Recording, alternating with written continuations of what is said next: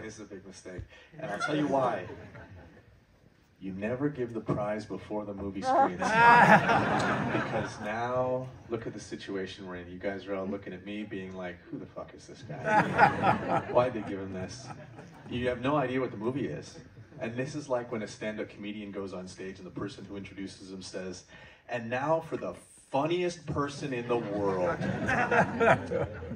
so, um, I'll have to bring the film down a peg.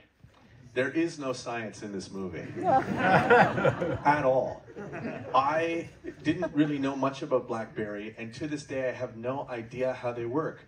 I don't know what the scientific innovation that they created was.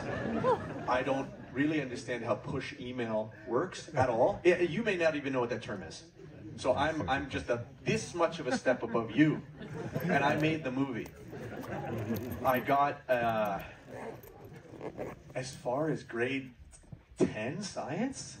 Oh, I guess 10th grade for you guys. I'm from Canada, um, which is another strike against my scientific bona fides, right? Um, but for the rest of my life, I will be showing this to people who were not in this audience and being like, ah, yes, I'm a real scientist. I can't thank you enough for coming here to see this film. Uh, as it said, I come from Toronto, uh, where the... Yeah. Okay, are you from Toronto? Is that why? Really? Uh, but you live here. what? Warriors? Is that what you said? Are you, are we in a sports rivalry? Do you live here now in San Francisco? I'm going to tell you guys something. So there's a bubble tea boom in Toronto, but I have never experienced anything like the bubble tea you have in this city. If you're not drinking it, you are you're leaving so much money on the table. This is a world-class city for bubble tea. And I know you're laughing. I'm telling you, if you go to a place called the Boba Guys and get the Korean banana milk oat bubble tea, you will not it's it's like ambrosia. It's manna from heaven and it, they, they should be selling it for $100 a cup, as far as I'm concerned.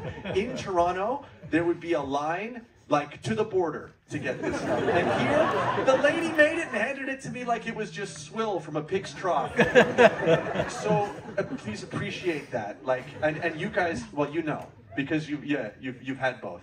Anyway, I, I, can't thank you enough, and thank you so much to the Alfred P. Sloan Foundation. And it, to be sincere for a moment, I will say that although the lifestyle of a filmmaker uh, or an independent filmmaker seems at least somewhat luxurious, all this bubble tea I'm talking about, but you have no idea how much uh, of our own money we need to put into the films that we make in order to have any type of artistic control.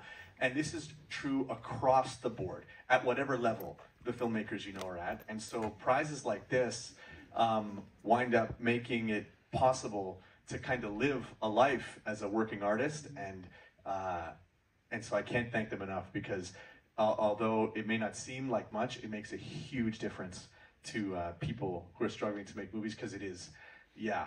I mean, that advice to put a robot in your movie was good. I would do it because because just do anything you can to get your films made because it is a hell march that never ends. Um, enjoy the film.